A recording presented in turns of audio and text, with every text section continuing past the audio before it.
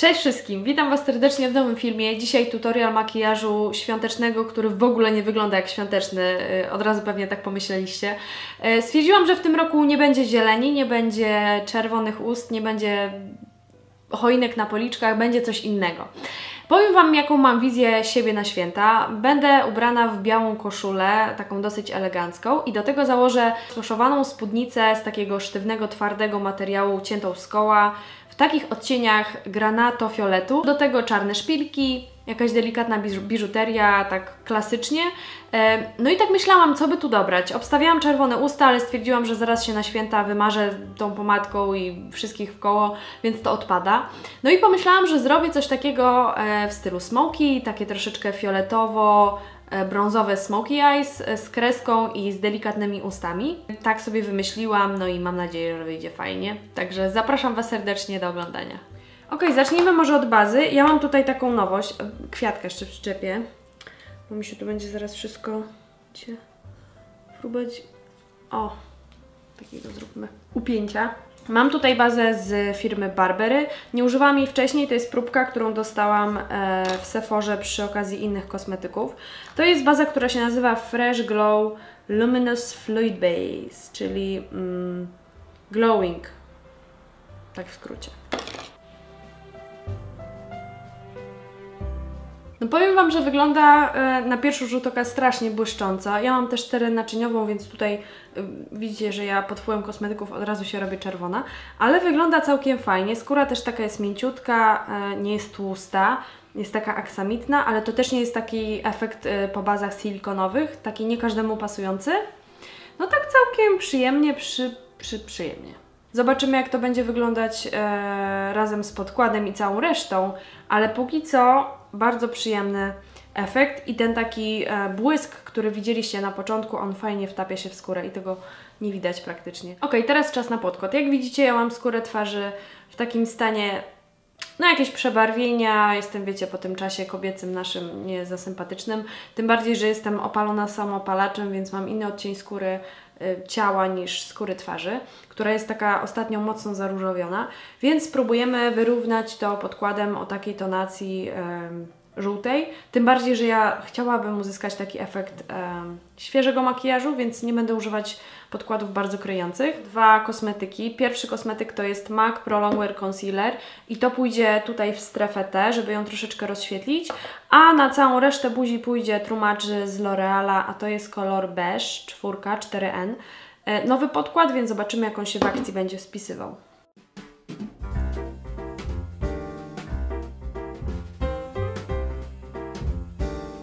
Beauty Blender i mieszamy wszystko, łączymy razem.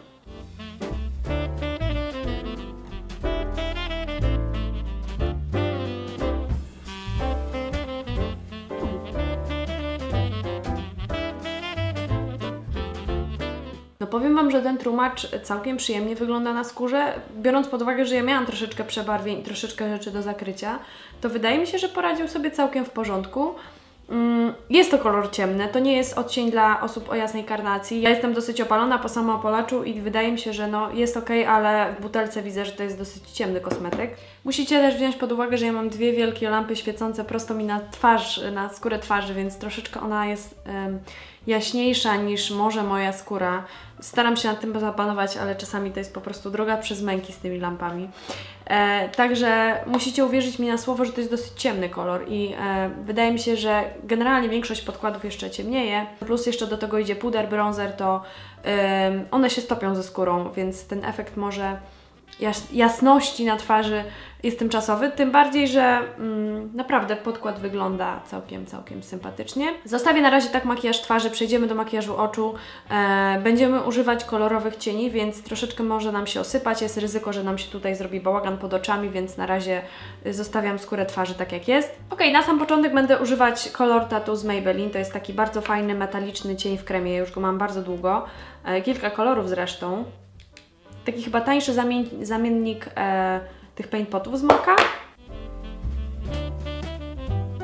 I z tym cieniem w kremie skupiam się tak naprawdę tylko na ruchomej powiece. Nie ma potrzeby, żeby to nakładać aż pod y, łuk brwiowy, bo tam będziemy też cieniować cieniami sypkimi, więc tylko tutaj, żeby zabazować ten taki najbardziej podstawowy kolor. Fajne są te paintpoty, ładnie się na nich cienie trzymają, no i mają fajne kolory, które też te kolory cieni sypkich podbijają, więc dobra sprawa, jeżeli jeszcze nie używaliście, to polecam spróbować. Ok, naszym cieniem bazowym będzie cień z palety The Balm. Yy, setny, tysięczny raz ta sama paleta, no ale kolor matowy brąz, taki fajny, ja już go e, drapię, bo już jestem na końcówce, ale piękny kolor i nakładamy go tylko w centralną część powieki, również żeby tak naprawdę zabazować ten kolor, który już mamy w kremie. Teraz puchatym pędzlem i tym samym cieniem rozdymię troszeczkę te granice e, do góry, żeby nam się wszystko ładnie połączyło. Mam tutaj paletę cieni z Maka, o których trąbię ostatnio non-stop. Mac Handwritten, ciemny czekoladowy y, kolor. Zrobimy taką bazę, bo chciałabym dzisiaj użyć troszeczkę granatu, troszeczkę fioletu, ale nie chcę, żeby to było tak bardzo mocno fioletowe, więc y, spróbuję pomieszać to troszeczkę z brązem.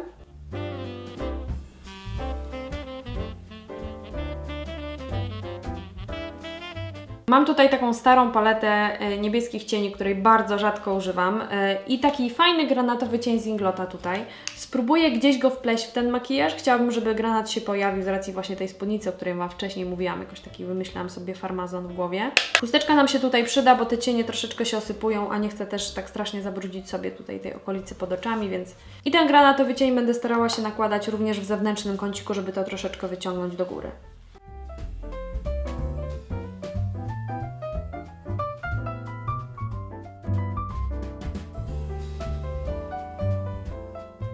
Ok, dołożę jeszcze troszeczkę brązu w kąciku zewnętrznym, żeby troszeczkę przygasić ten granat, bo on jest dosyć intensywny.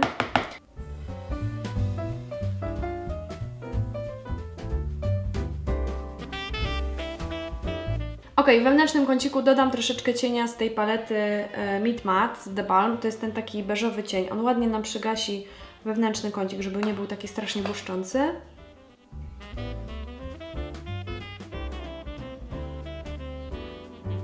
Ok, zostawimy to tak na razie i przejdziemy do pyłku.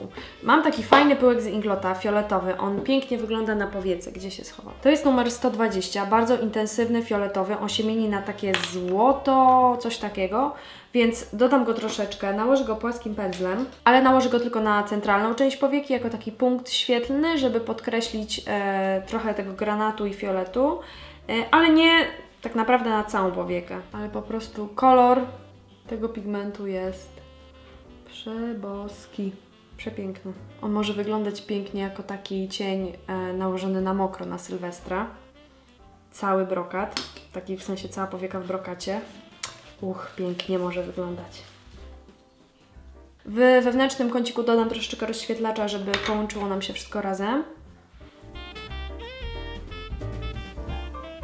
Dolną powiekę zdecydowanie zaznaczę ciemnym cieniem, nie będę już dodawać fioletu i błękitu, bo i tak tego jest sporo.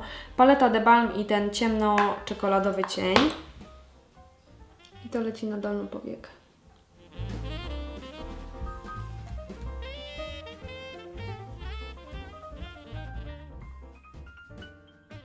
Skończę cały makijaż oka linerem. Mam tutaj czarny, żelowy liner z Inglota. Zrobimy taką kreseczkę, nie za dużą, nie za małą, taką w sam raz. Wiecie?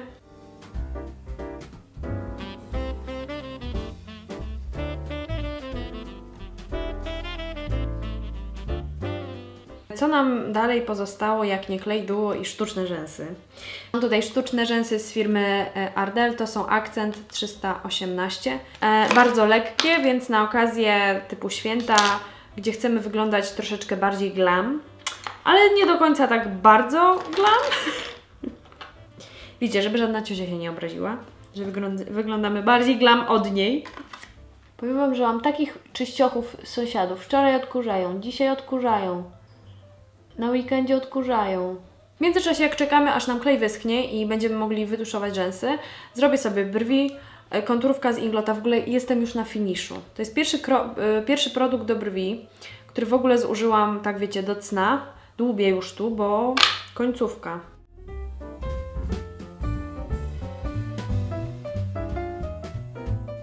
Ok, wysechł nam troszeczkę już klej, więc y, poprawię e, liner, w sensie dodam troszeczkę tutaj przy samej nasadzie rzęs, bo widzę, że Delikatne prześwity są.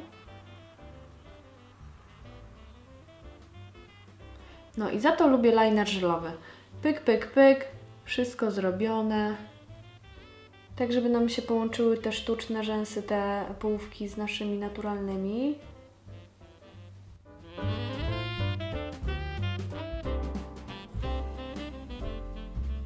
Powiem Wam szczerze, że sama nie wiem, co za bardzo myśleć o tej bazie. Pewnie kosmetyk jest w cholerę drogi. A po pewnym czasie, jak kręcę ten tutorial już tak, no, z dobre półtorej godziny, nie wygląda twarz za świeżo, więc raczej nie kupiłabym tego Barbery. Dzięki Bogu, że dostałam próbkę. Mam tutaj Cream Puff z Max Factora, to jest kolor Medium Beige 41 e, i taką Kabuki Brush Start. Zrobimy sobie puder. Zróbmy sobie puder.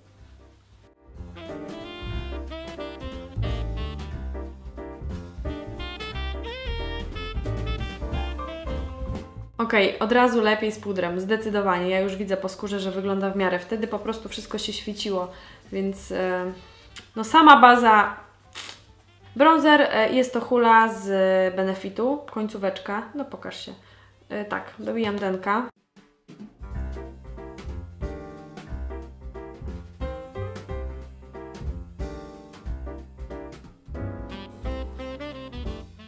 Mam tutaj róż z L'Oreal y, i to jest Old Rose 140.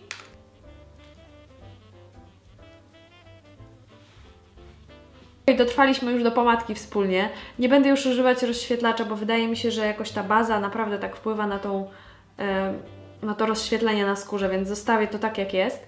E, mam tutaj fajną pomadkę mm, w kolorze 378.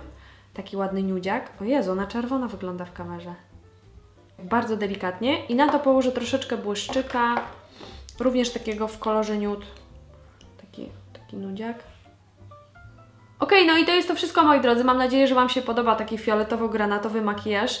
E, koniec końców wyszło całkiem fajnie. Ja już wiem, jak będę miała, e, jaki będę miała makijaż na święta który będzie pasował do tej mojej spódnicy. Dajcie znać w komentarzach na dole, jakie są Wasze wizje i pomysły na świąteczne makijaże, niekoniecznie czerwone usta, bo ja jakoś tak w tym roku na początku myślałam, że będę miała czerwone usta, ale później stwierdzam, obcałuję wszystkich, e, będzie dużo ludzi na Wigilii, na świętach, więc stwierdziłam, że że chyba nie ma sensu, zaraz zresztą zjem tą pomadkę i będzie wyglądać to nieestetycznie. No i stwierdziłam, że postawię na takie smoki, ale w kolorach innych niż brązy, bo uwierzcie mi, ja brązy już zmęczyłam po prostu od prawa do lewego, z góry na dół, we wszystkie strony świata, więc fajnie byłoby raz na jakiś czas spróbować czegoś innego. No i dzisiaj padło na fiolet, ale bardzo jestem zadowolona jak, jak to wyszło na koniec, więc mam nadzieję, że również i Wam się spodoba. Na pewno pojawi się jakaś propozycja moja e, sylwestrowa. Myślę, że będzie bardzo brokatowo. E, zaszalejemy wtedy. E, dzisiaj dziękuję Wam za oglądanie. Pozdrawiam serdecznie i do zobaczenia. Pa, pa!